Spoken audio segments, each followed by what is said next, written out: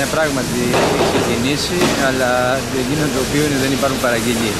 Η τιμή σήμερα είναι μέσω όρου στο 1,340 ε, και πιστεύω είναι μια πολύ καλή τιμή και αν συγκρίνει κανείς ότι και τον, ε, την επιστροφή που θα πάρουν από τον ειδικό χώρο πίσω αυτοί που του δικαιούνται και όπως με τα καινούργια μέτρα που έχει ανακοινώσει τώρα ότι δικαιούνται πάρα πολύ να πάρουν την επιστροφή πίσω είναι σχεδόν στα ίδια περσινά επίπεδα.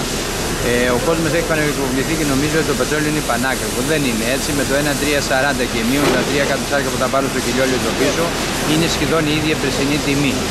Ε, το για το θέμα της παραγγελίας ακόμη δεν έχουμε διότι και ο καιρός ήταν καλός αλλά πιστεύω από εδώ και πέρα ο καταναλωτής να το δει το πράγμα σωστά και να δει ότι πράγματι δεν είναι τόσο ακριβό που φαντάζει το πετρέλαιο και να αρχίσει σιγά σιγά να προμετεύεται ο κόσμος γιατί ε, πλέον έχουμε μπει για καλά στο χειμώνα και δεν ξέρουμε να πάσα στιγμή πότε θα πιάσει το κρύο και να μην τρέχουν τελευταία στιγμή.